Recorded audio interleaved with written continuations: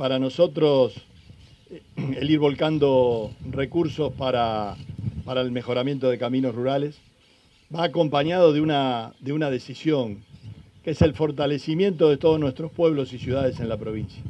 Nosotros creemos en la descentralización, creemos en que los recursos y las decisiones, que eso significa descentralizar, transferir los recursos y las decisiones, tienen que estar puestos en cada uno de nuestros pueblos, eh, desde el más pequeño hasta la ciudad más grande, cerca de la gente y cerca del control de la gente. Si nosotros tenemos la posibilidad de ir fortaleciendo cada una de esas comunidades, vamos a equilibrar poblacionalmente nuestra, nuestra provincia y se equilibra cuando nadie tiene que irse del lugar y nadie se va del lugar cuando hay oportunidades.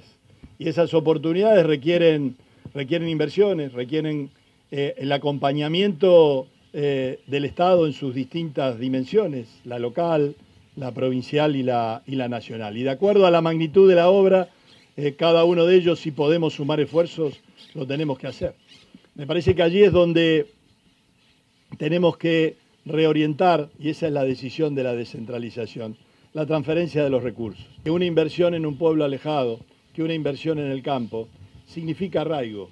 Y esa es una muy buena noticia para Tacural, o si vamos más al norte, donde hay más migraciones. es una muy buena noticia también para Rosario y también para Santa Fe.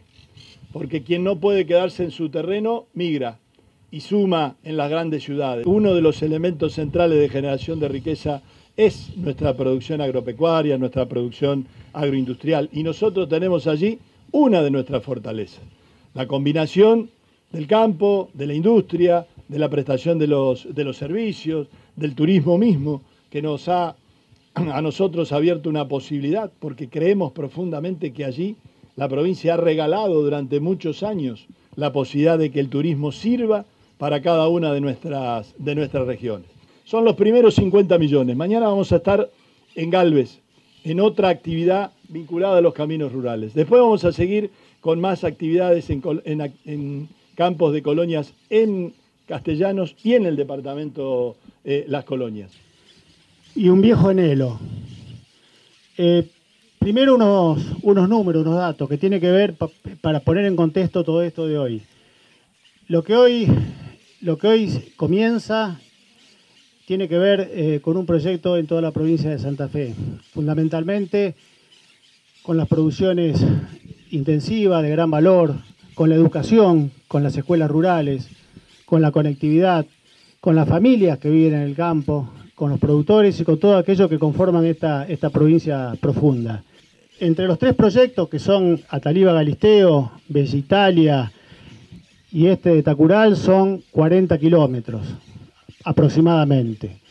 De esos 40 kilómetros contextualizan 100 empresas, empresas vinculadas a la lechería, a la ganadería, a la producción porcina, a todo, a, distintos sistemas de producción, de los cuales hay 34 o 35 tambos, este, ahí es el número, que sacan por día 100.000 litros de leche. Queda mucho por hacer, muchísimo por hacer en caminos, en todo, en conectividad, como bien decías, en, lo que tiene que ver con, la agricultura de precisión, con lo que necesitan los tambos, los controles lecheros, la tecnología que hoy necesita para ser competitivo acá y en el mundo. Esto también es política eh, y, es apoyo a la, producción. Y no tengo dudas que es no solo que es un viejo anhelo, sino lo que es lo que nos pedían en cada lugar que íbamos y cada productor de esta provincia.